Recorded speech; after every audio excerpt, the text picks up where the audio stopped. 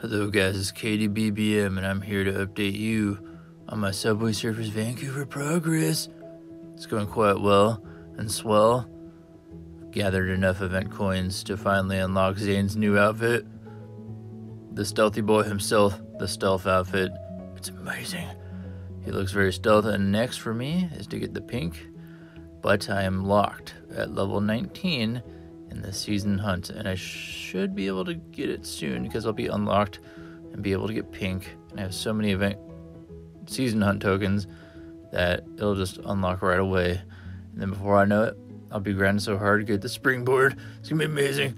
Make sure you stay tuned. Make sure you tell your grandma, tell your mom about Zane and the stealth outfit. He has a peg leg.